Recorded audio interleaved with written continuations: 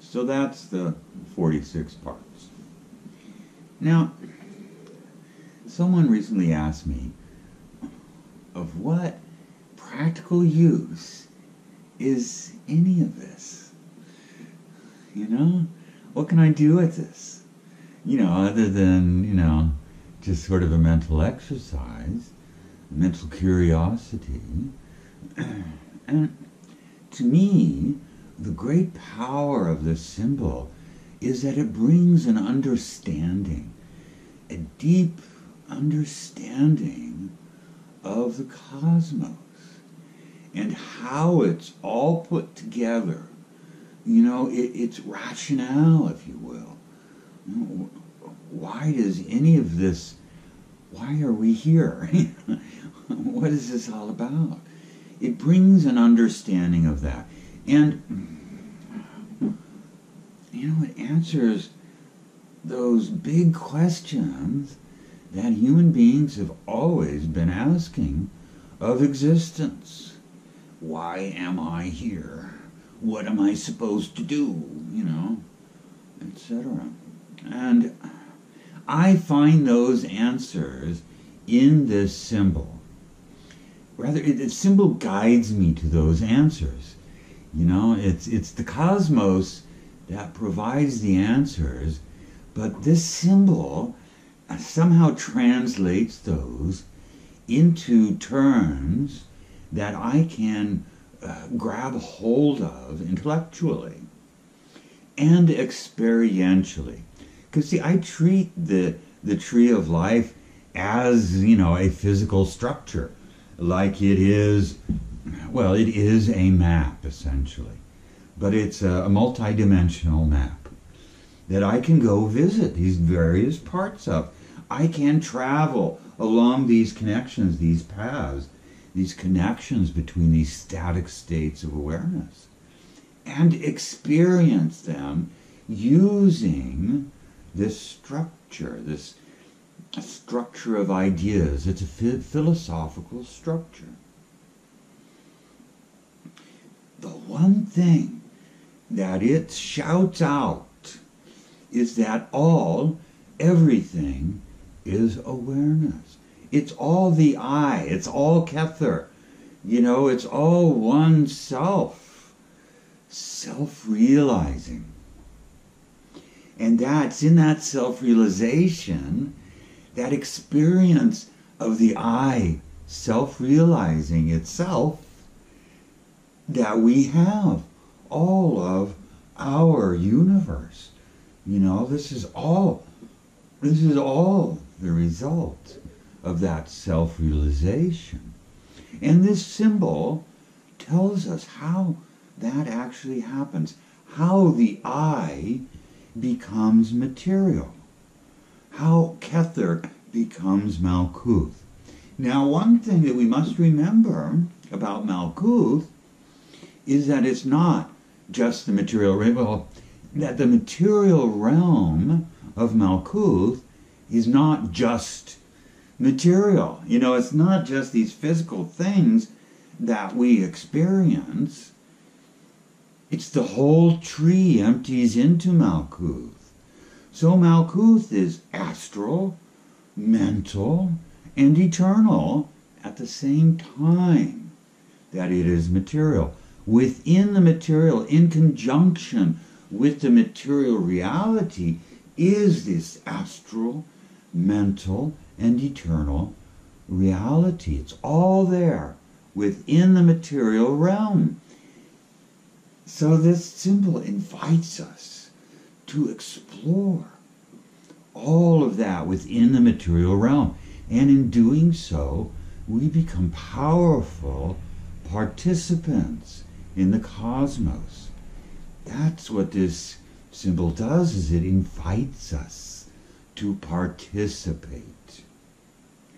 One way we do that is through the work of initiation and dramatics. I mean, that develops our abilities as human beings to actively participate in the cosmos. This symbol expands beyond what is just what is in initiation into hermetics takes us beyond those limitations to participation in the whole cosmos. Okay? Now, part of how it illustrates that the I becomes Malkuth, the material realm, is it postulates four different realms and subsequently four different bodies. Okay? We have our physical bodies here in Malkuth, but we also have an astral body, which is that medium that connects us with our mental body, our actual awareness. And that is connected to a eternal mental body, a greater self.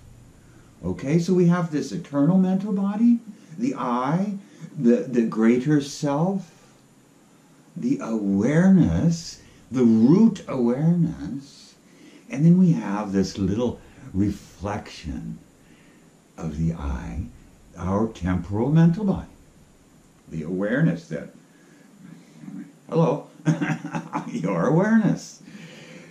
And then we have the astral body, which for us is the emotional body, where we experience significance and interaction with other. Okay? And then we have our physical body, which we need in order to move around and interact in the physical realm, which is the summation of the self realization of the I. And it also, one of the interesting sort of doctrines uh, of the tree is a doctrine of infinities, I'll call it, okay? So, starts with the I. The I is infinite. It is everything all together. Not just every material thing, but everything that exists. That awareness is the I, and it is infinite.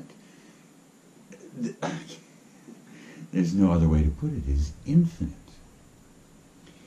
And in that I, there is infinite meaning.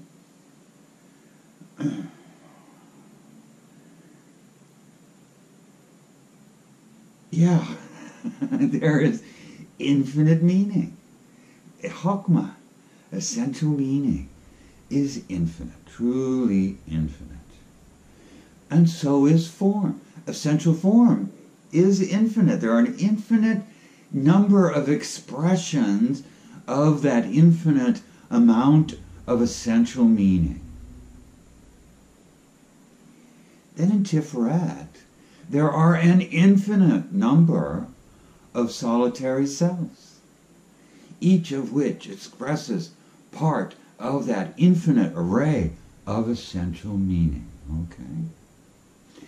And consequently, there are an infinite number of sentient cells because that infinite number of solitary selves are, you know, uh, incarnating into material existence as the the I self realizes, the infinite I self realizes, it has an infinite number of sentient selves that self realize. And likewise, there are, of course, an infinite number of physical selves. The universe is infinite at every level. Now that's really something to wrap your brain around and well worth the effort meditating on that concept of infinity and of infinities within infinities. Okay?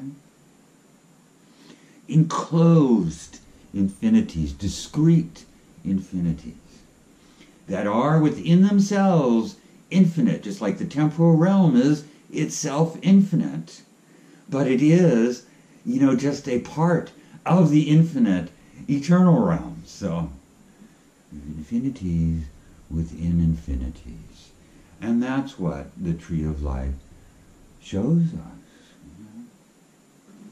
Ultimately, the cosmos has infinite meaning, infinite time, and infinite space. Now, infinite meaning we encounter in Chokmah. Infinite time, I've already talked about, infinite change in this Beth Shin crossing between Chokmah and Bina with fire and Saturn. And then infinite sequence between Gedula and Gebura and Resh crossing. Aleph Resh crossing. Infinite sequence. And then infinite duration.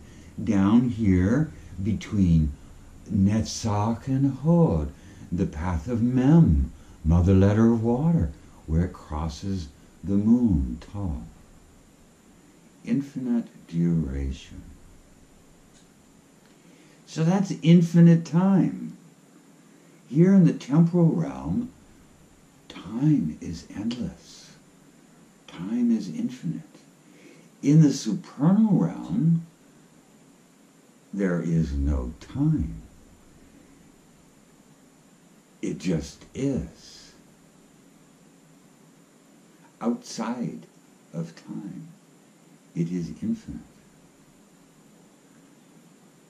And here in Malkuth, space, infinite space, the universe, the physical universe is infinite. That is a central doctrine of Kabbalah. And in my experience, objectively true.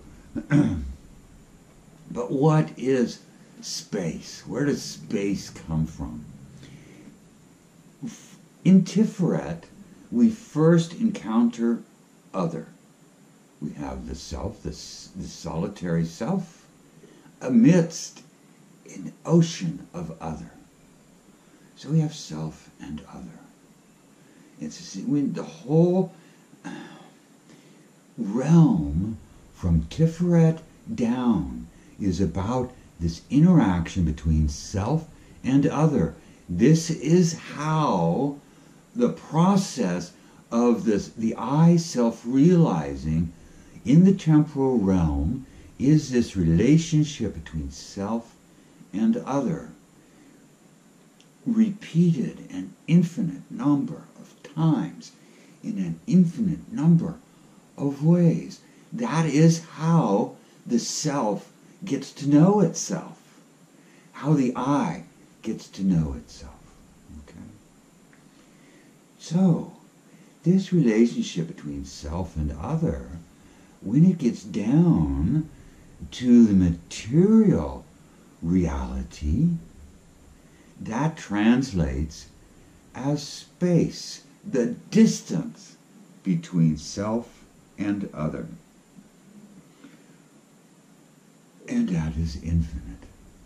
The distance between self and other is everything between zero and infinity. Okay? Excuse me. So, in that sense, space is infinite. Mm-hmm. So, that is the use I make of the tree of life. I explore the cosmos through this diagram. I take it from a diagram and make it moving through ideas, through concepts. And that's what the universe is made of. It's all awareness. And awareness, the, the milieu of awareness, what awareness deals in is ideas, thoughts, concepts, philosophical ideas. And that's what the tree of life, it's a philosophical structure. And that is how I explore the cosmos. And so what I will do in the next set of videos is I will talk about each one of the 182 gates of the Gra Tree of Life. And this is one of the methods that I use for exploring the cosmos through this philosophical structure. Okay? I will talk about each one of the gates, describe how you work that gate, what you can expect to encounter, what sort of results, what you will gain from working each gate. And that's going to take probably quite a while to go through these videos and talk about each of the gates because some of them are very brief, but a lot of them are very lengthy and involved. So this will be a, a long set of videos. But before I do that, I want to just uh, end with a, an interesting uh, little snippet of something that I have learned about the tree of life through making um, my radiators, which generate the cathodic brilliance. The structure I use to build a, a, a radiator, the mechanism, is a truncated octahedron.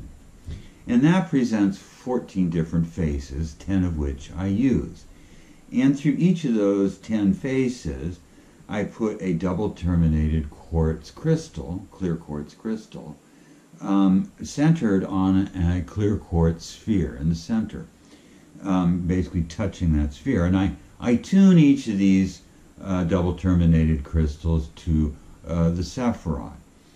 And in creating that, I realize that there are oppositions. There's five against five. Now that's that's fairly important in the Sefer Yetzirah. It's mentioned in several places that the the Sephiroth are divided into sets of five, which each oppose each other. But it's not really oppositions. Hmm. It's more groupings. They are each related very significantly to each other in these pairings, if we will. Okay? So, what I've discovered through the form, putting it in a three dimensional form instead of just a two dimensional form like the tree of life, um, is that Kether is opposite Malkuth, quite logically. Chokmah is opposite Hod. Let that sink in for a second, okay? Bina is opposite Netzach. Okay? Tiferet is opposite Yesod. Okay? And Gedula is opposite Gebura. So again, these aren't really oppositions as much as they are pairings. so, Kether and Malkuth, you know, they are basically the same thing they're not opposites, they are paired, you know? They're the two extremes of a one thing, okay? Chokmah and Hod, the wisdom of essential meaning and the intellect, the human intellect and that power to decide. These are very closely related. Okay. And Bina, eternal form, essential form, the greater self, and Netzach, the, the self that resonates, then the emotional self, again, are closely related. Okay? Tiferet, the solitary self, and Yesod, the sentient self, these are very closely related. They're not opposites, but they're related, very intimately related, okay? The sentient self simply does not exist without the solitary self. That's its whole purpose, is to enable the solitary self to incarnate into physical reality. And Gedula and Gebura are related, directly related. The collective awareness and the unique individual awareness. Without each other, I mean, they are essential to each other. The collective is powerless without the individual powers. The individual powers are meaningless without the collective, without that context of the collective. Okay? So, interestingly, all these pairings intersect that Aleph Resh crossing, the air and the sun, Aleph and Resh, the center, the very heart functional beating heart of the tree of life. Okay? So, on that note, I will end today, and next time I will be coming to you with the beginning of my uh, telling the tale of the 182 gates of the Gra Tree of Life. Okay? Till then, bye bye.